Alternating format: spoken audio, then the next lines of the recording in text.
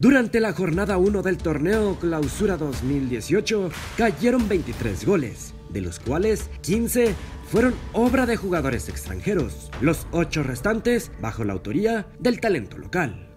Cuatro jugadores de origen argentino se hicieron presentes en las metas de la Liga MX. Les siguen en el listado colombianos con tres, dos ecuatorianos, mientras Chile, Japón y Cabo Verde tuvieron un autor cada uno. Los mexicanos tienen un aspecto a favor, el promedio de edad, dos años menor al de los autores foráneos. Los artífices de los goles aztecas se combinan para un promedio de edad de 24 años, mientras extranjeros arrojan 26. El extranjero más viejo en anotar fue Mauro Boselli con 32 años. El más joven, Julián Quiñones de Lobos Buap con 20. En el marco mexicano, Marco Osuna y Francisco Acuña, ambos de 29 años, fueron los más longevos.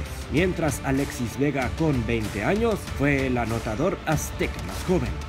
Aunque existieron varios tantos mexicanos, el 65% de los goles fueron de extranjeros, pero hay un buen indicativo, el gol mexicano es joven.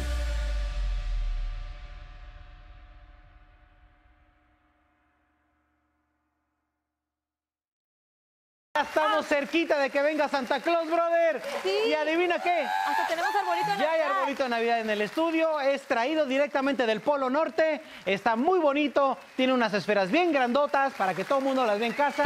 Ana Yurka está incluida en el arbolito.